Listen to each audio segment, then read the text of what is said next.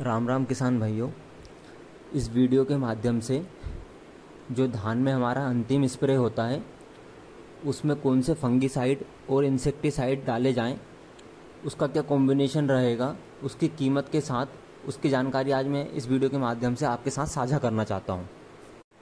मेरे द्वारा कुछ फंगीसाइड और इंसेक्ट की, इंसेक्टिसाइड का चयन करा गया है, जो कि मैं धान की जो 25 परसेंट, बीस से 25 परसेंट बाली आ जाएँगी, तब मैं उसमें स्प्रे करूँगा। आज उसकी कीमत के साथ और उसका डोज क्या रहेगा, मैं इस वीडियो में आपको बताऊँगा। फंगीसाइड में मैंने बायर का नटीवो लिया है, जिसका डोज है 120 ग्राम प्रति एकड़ 200 लीटर पानी में। तो नटीवो में tebuconazole 50 percent plus trifloxystrobin 25 percent रहता है। नटीवो sheath blight, leaf blast, neck blast, dirty panicle जैसी फफूंदीजनक बीमारियों पर बहुत ही लाभकारी साबित हो सकता है। टेबुकोनाजोल, जो कि ग्रुप थ्री का फंगीसाइड है, और ट्राइफ्लोक्स्ट्रोबिन, ये ग्रुप इलेवन का फंगीसाइड है। ब्रॉड स्पेक्ट्रम फंगीसाइड के साथ साथ ये प्रोटेक्टिव एंड क्यूरेटिव भी है, और धान की उपज और गुणवत्ता को भी बढ़ाता है, और डर्टी पेनिकल, जो काले धब्बे जो पड़ जाते हैं धान में, फंगस की वजह से उसको भी ये रोकता है, उसको भी आने से ये रोकता है। इसकी कीमत की बात करें तो ये सात हज़ार रुपये किलो के लगभग पड़ेगा आपको। अगली जो दवाई है हमारी, वो है सिजेंटा का चेस। धान में अगर सबसे प्रमुख, अगर जो कीट लगता है, वो है भूरा माहू B P H brown plant hopper. अगर इसको सही समय पर नियंत्रण ना करा जाए तो ये पूरी धान की फ़सल को बर्बाद कर सकता है।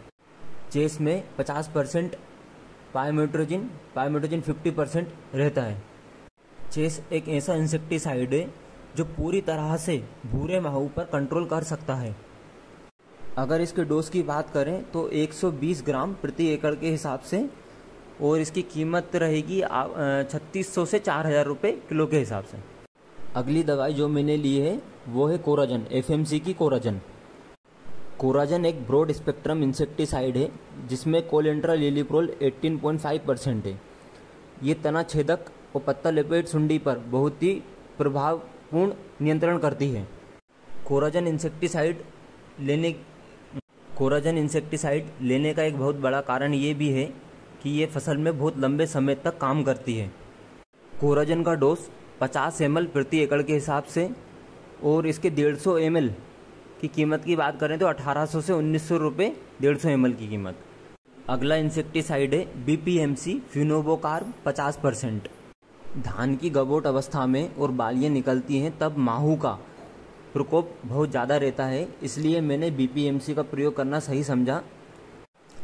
बीपीएमसी एक बहुत ही जहरीली गैस बनाता है, जिससे इंसेक्ट पर नोकडाउन तुरंत नोकडाउन इफ़ेक्ट देखने को मिलता है।